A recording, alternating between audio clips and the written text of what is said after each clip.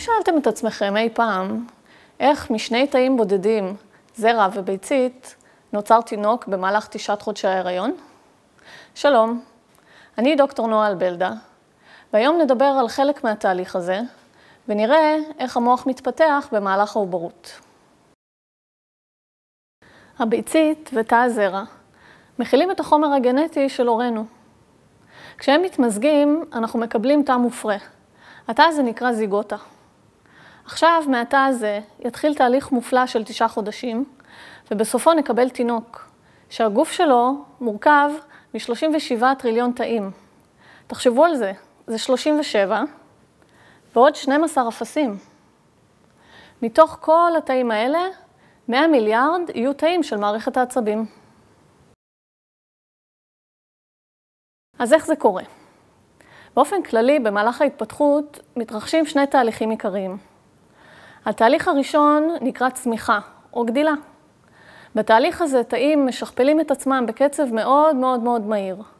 וככה אנחנו בעצם מייצרים את חומר הגלם, שממנו ייבנה הגוף של התינוק. זה ממש תהליך שאפשר לדמות אותו לתהליך של copy-paste, כי השכפול של התאים נעשה בצורה מדויקת. התהליך השני הוא תהליך של התמיינות, או באנגלית הוא נקרא דיפרנציאציה. בתהליך הזה, התאים משנים גם את הצורה שלהם וגם את התפקוד שלהם, ככה שהם הופכים להיות שייכים לרקמות ספציפיות. למשל, חלק מהתאים יהפכו להיות תאי דם. תאים אחרים יהפכו להיות תאים של מערכת החיסון. קבוצה נוספת של תאים תהפוך להיות תאי שיער או תאי עור, וכן הלאה וכן הלאה, כל סוגי התאים שקיימים אצלנו בגוף. מעכשיו ועד סוף הסרט, אנחנו נדבר רק על סוג אחד של תאים, והם התאים שירכיבו את מערכת העצבים, שנקראים הנוירונים. כל התאים של מערכת העצבים מתפתחים מרקמה שנמצאת בחלק האחורי של העובר. זה החלק שבסופו של דבר יהפוך להיות הגב שלו. הרקמה הזאת נקראת רקמת האקטודרם. בשלושת השבועות הראשונים להתפתחות העוברית נוצרים מעין שני רכסים ברקמה.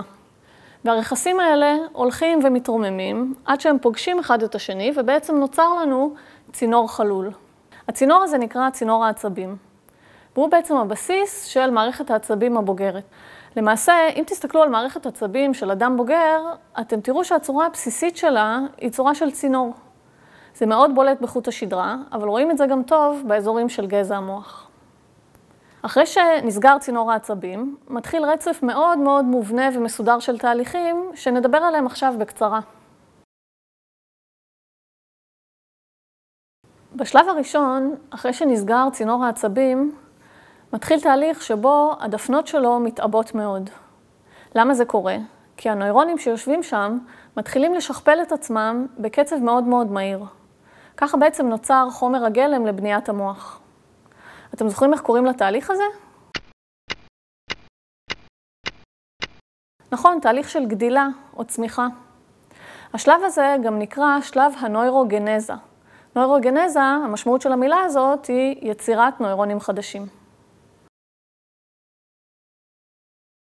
בשלב השני, הנוירונים מתחילים לנדוד, ובעצם לפסל את הצורה הבוגרת של מערכת העצבים ושל המוח. אתם בטח שואלים את עצמכם איך נוירונים יכולים לזוז. הם לא עושים את זה לבד. הם עושים את זה בעזרתם של תאים מיוחדים, שנקראים תאי גליה רדיאליים. רדיאליים מהמילה רדיוס. התאים האלה בעצם יושבים בצינור העצבים, אבל יש להם שלוחה ארוכה שנשלחת כלפי חוץ. הנוירונים הצעירים שלנו קופצים על השלוחה הזאת ומתחילים לטפס עליה ולבנות את המוח הבוגר. אפשר לחשוב על תאי גלי הרדיאליים כמעין הפיגומים שבעזרתם נבנה המוח. חשוב לציין שלא כל הנוירונים במוח נודדים בבת אחת. יש תהליך של גלי נדידה. זאת אומרת שכל פעם קבוצה אחרת של נוירונים יוצאת לדרך, והמוח שלנו בעצם נבנה בשכבות. אחרי שהנוירונים סיימו לנדוד והגיעו למיקום הסופי שלהם, מתחיל תהליך או שלב שנקרא סינפטוגנזה, יצירה של סינפסות. השלב הזה הוא בעצם מרוץ של שידוכים. כל הנוירונים מתחילים לעבוד מאוד מאוד קשה בשביל למצוא בן זוג, לקיים איתו נקודת מפגש, סינפסה. למה אני קוראת לזה מרוץ? כי בתהליך ההיווצרות של המוח נוצרים הרבה יותר נוירונים ממה שצריך. ונוירון שלא יהיה זריז מספיק למצוא בן זוג, לקיים איתו סינפסה, פשוט לא יצליח לשרוד וימות. למה זה בעצם קורה? כי ברגע שנוצרת הסינפסה, ברגע שנוירון יוצר מפגש עם נוירון אחר, מופרשים באזור הזה חומרים שנותנים לנוירון את הסימן לפרוח ולשגשג. בלי הסימן הזה, הנוירון פשוט נובל. אתם רואים כמו בני אדם, גם נוירונים, קשה להם להיות בודדים. בשביל למצוא בני זוג, הנוירון משתמש במבנים שנקראים חרוטי גדילה או חרוטי צמיחה. באנגלית הם נקראים growth cones. מה הם המבנים האלה? המבנים האלה הם בעצם שלוחות שנראות ממש כמו כף יד.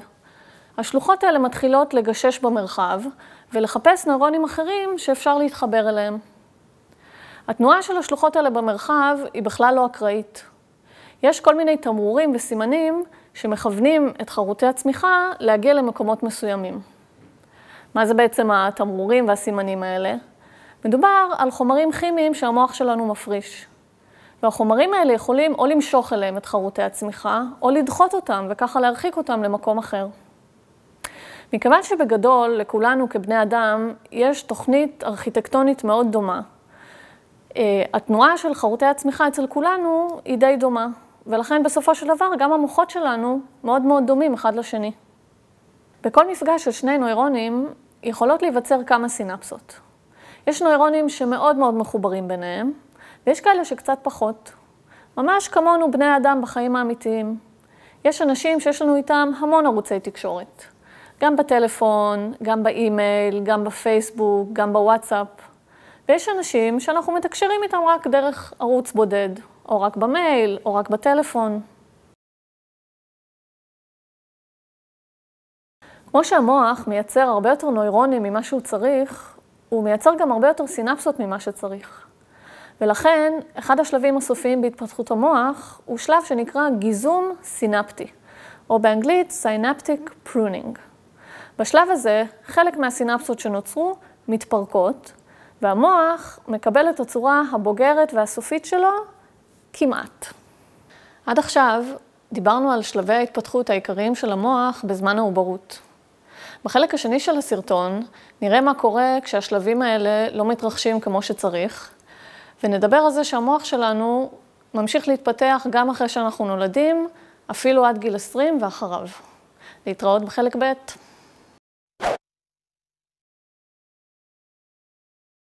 היי נועה. היי נאווה.